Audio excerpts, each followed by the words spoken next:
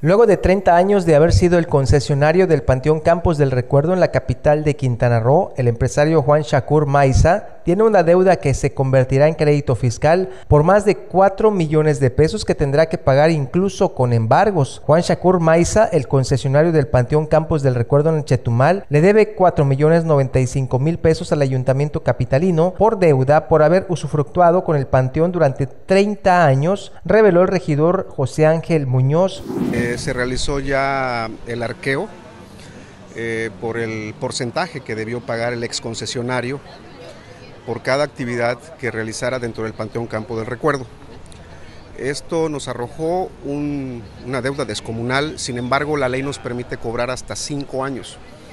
En ese tenor, pues realizando los cálculos con las cifras que se tuvieron que inmediatamente eh, sacar tumba por tumba con los últimos datos, cruzando información con el registro civil, por las actas de defunciones y con tesorería. Yo, bueno, eh, fue en verdad un trabajo muy intenso por parte de la comisión que se conformó para ello y arrojó que por los cinco años la, el adeudo es de 4 millones 95 mil pesos. Primero vamos a, a tratar, o ya estamos tratando, ya se entabló comunicación con él, con el ex concesionario, sin embargo no está muy de acuerdo. Sin embargo, acuérdate que las obligaciones se cumplen y estamos hablando de números y las matemáticas no fallan.